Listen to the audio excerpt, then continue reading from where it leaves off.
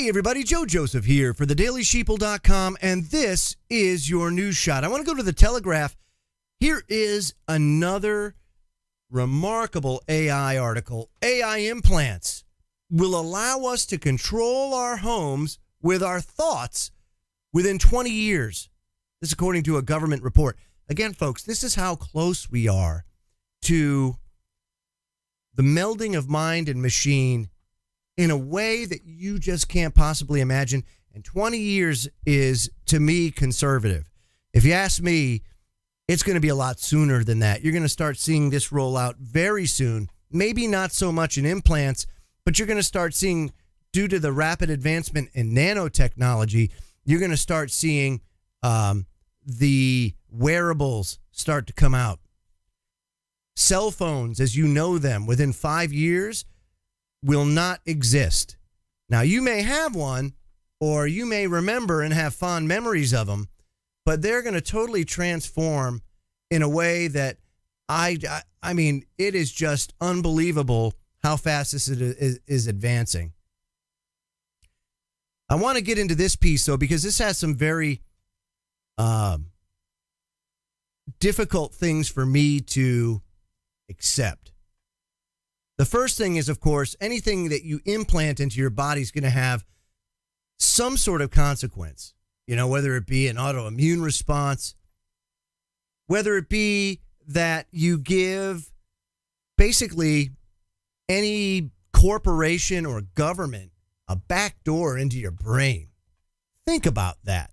Just for a second, let that sink in. Anytime that implant does an update, what are they throwing in there? You know, does that implant actually interface with your brain? Well, it would have to because if it's thought driven and it's picking up your thoughts, well, then there's a brain machine interface. And if there's a brain machine interface, what are they adding in to that information stream? Because remember, it's going to be a send receive thing. You're going to say, okay, house, I want my lights to turn on. So you think it. Well, your house is going to tell you, hey, brain, I turned my lights on. And you're going to have to receive that information. What else could these institutions or organizations or companies or hackers do to your brain without you even knowing it's happening? These are very extreme but real situations that I think we're going to confront sooner rather than later. I want to get into this. It says artificial intelligence nano machines will be injected into humans within 20 years to repair and enhance muscles, cell and bone, and other things, according to a senior investor at IBM.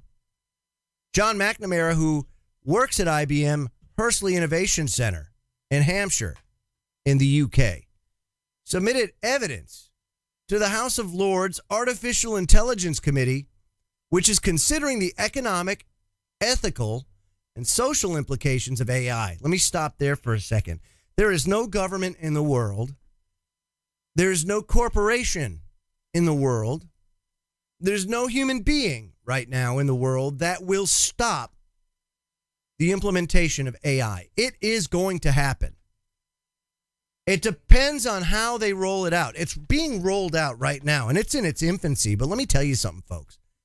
If this is not done right, you're talking about the end of humanity. It's really that simple.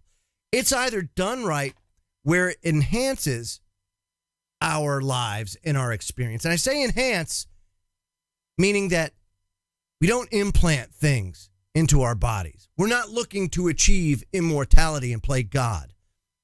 We are using it to better ourselves, to better our lives, to maybe free ourselves from having to do arduous labor. Perhaps, you know, I gave an example last week of how farming, uh, big agro right now is toying with crops that are sown, they're maintained, and they're harvested without human without a human touching it.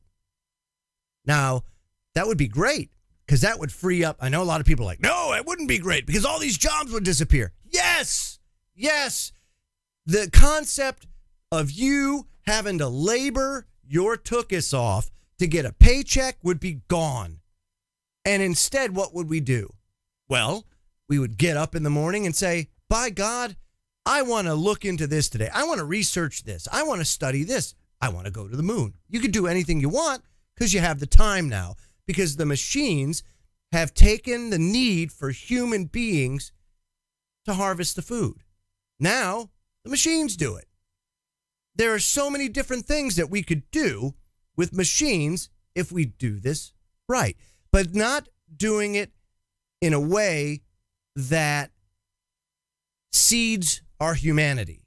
We can't do that. If we start ceding our humanity and allowing this AI to overtake humanity, you cannot imagine the consequences that are going to take place. Listen to this. Mr. McNamara said that within just two decades, technology may have advanced so much that humans and machines are effectively melded together, allowing for huge leaps forward in human consciousness and recognition. Now, I'm going to stop there. Wouldn't it be interesting? Wouldn't it be awesome to say, man, you know, I really, I really wish that I knew how to speak Spanish. And you would just then think about it, download it, and you know Spanish.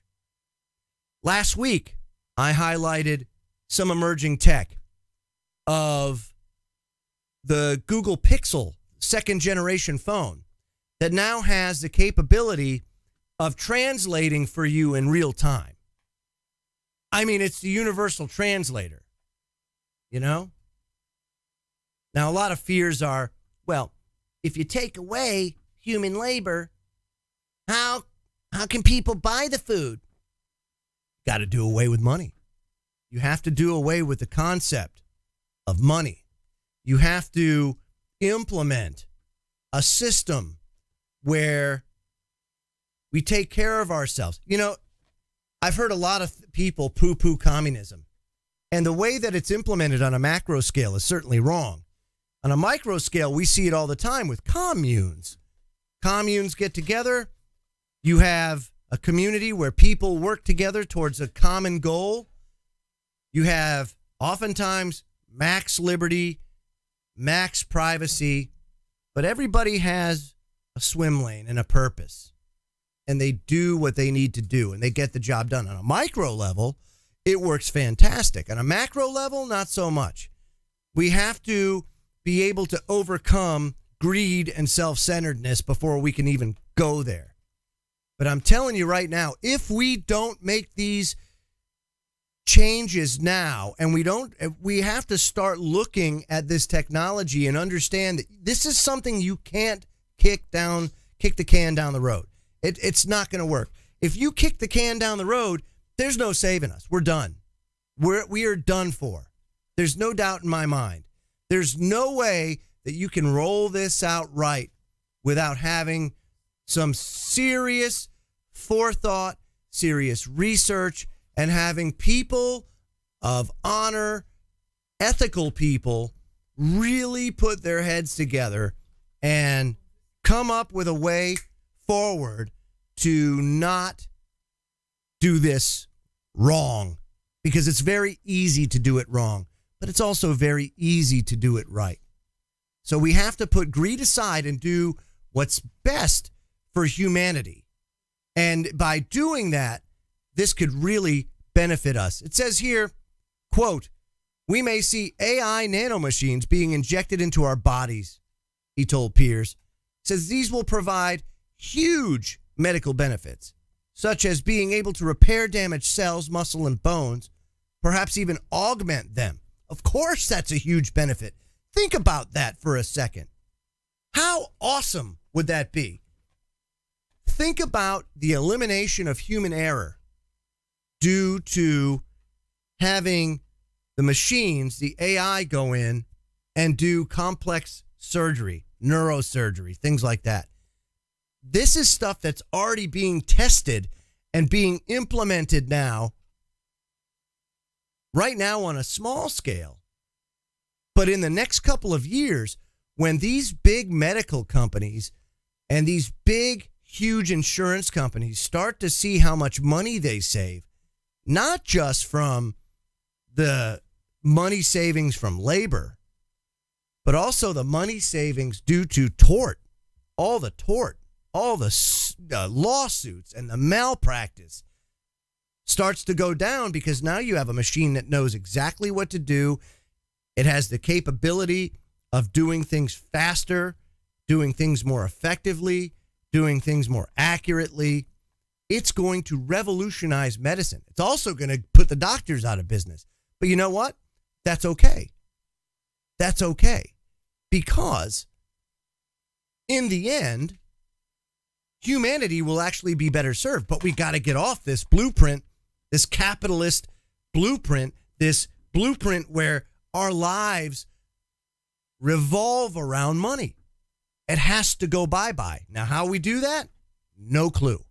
No clue. We are just now starting to understand that this is the way it has to go, but how do we do it? The other thing is, during this whole process, you have to make sure that oversight is maintained. And without that, you're going to have a lot of people, ambitious people, that are going to take advantage of people that don't know, that don't have an idea or a concept of just how complicated a rollout this is, but also the capabilities of being able to hack or to peer into your thoughts. Folks, this is an amazingly huge thing. And when they say that things like this will be a reality within 20 years, and I'm going to give you an example of how we get this estimate wrong all the time. Think, for example, Star Trek, right? Star Trek in 1967, I think it was, or in and around that time, was an incredibly forward thinking show. Uh, Gene Roddenberry was a, was a visionary. And a lot of the things that he saw as being 23rd century technology, we've already surpassed in 50 years. So if they're telling you that in 20 years it's going to happen, folks, it's going to be more like five or 10. That's when a lot of this stuff starts to roll out. So pay attention because AI is coming fast and furious. And the only way I believe truly that you are going to be able to manage it for yourself properly is to really do your homework on it before you start bringing AI into your life. And by the way, you already do. If you use Google, if you use YouTube, if you use social media, guess what? AI is already in your life. I'm Joe Joseph. This was the dailysheeple.com's news shot. Feel free to comment below and visit our website at thedailysheeple.com. Have a great day, everybody.